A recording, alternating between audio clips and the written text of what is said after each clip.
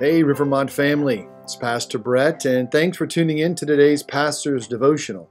We are continuing our study of the Westminster Shorter Catechism, and today we'll look at question 83, which asks Are all transgressions of the law equally heinous? The answer is that some sins in themselves and by reason of several aggravations are more heinous in the sight of God than others. So, in other words, the nature of some sins, as well as the impact those sins have on others, cause them to be more heinous than others. Uh, it's possible that some of you have never thought about some sins being more heinous or more offensive than others. You might think that all sin is an abomination to the Lord, and that is certainly true. But there are indeed some sins which are in fact more heinous and cause more aggravation than others. Uh, for example, if we think about our own laws in the U.S., not all crimes are treated equally. Some crimes, like running a stop sign or trespassing, are considered misdemeanors, while others, like aggravated assault and murder, are felonies. In fact, a person committing murder faces a harsher punishment than someone who commits manslaughter because murder is premeditated and manslaughter is in the heat of the moment or accidental. So, even in our judicial system, we see sins as being more heinous than others.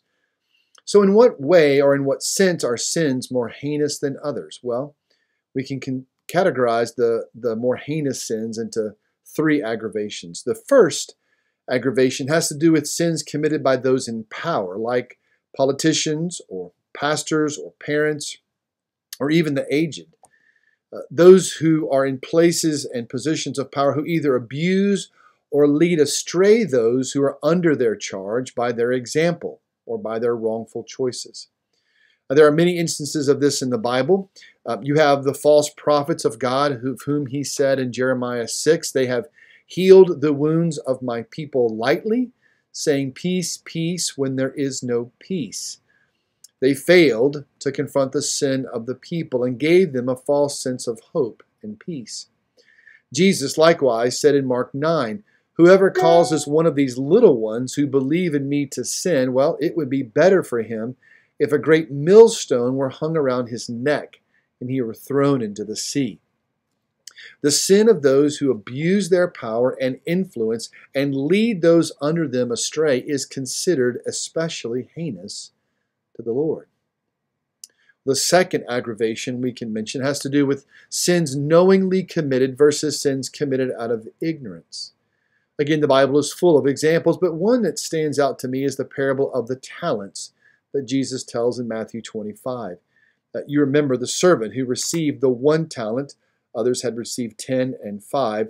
This one was afraid of making a bad investment and losing the master's money.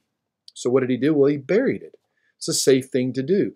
And his master answered him in verse 26 You wicked and slothful servant.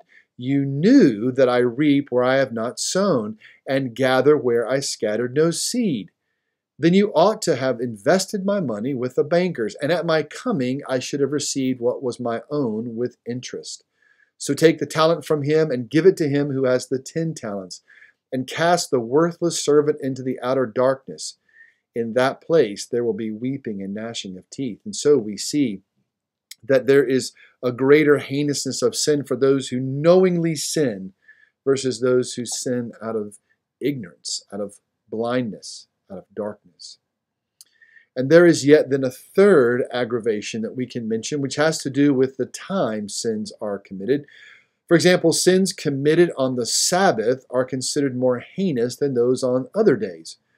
Now, for example, Drunkenness and adultery are abominable on any day in the sight of God, of course, but drunkenness and adultery, or really any other such sin, are more heinous before God on the Sabbath. Uh, we could even say that sins committed after repentance and rededication to the Lord are more heinous than the same ones committed before repentance because we've just told the Lord our desire to turn away from that sin. And what do we do? Well, we sin again. The bigger question, I think, as we think about these three aggravations that are here, and there are others to be sure, but the bigger question um, can be asked in this way To what end really is such a discussion of the heinousness of particular sins? In other words, what are we to do with the knowledge that our sins can be more heinous than other sins?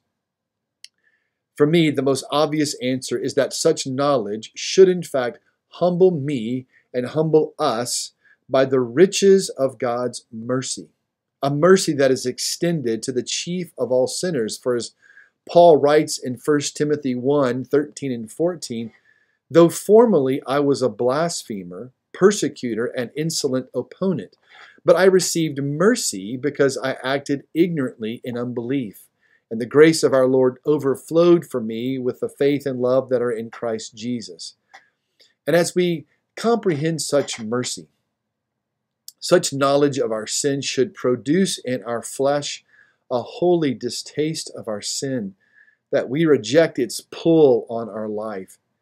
And so may God indeed be rich in mercy towards you and towards me as sinners, that we may pursue a life of holiness in light of God's grace, in light of His mercy towards us. Amen.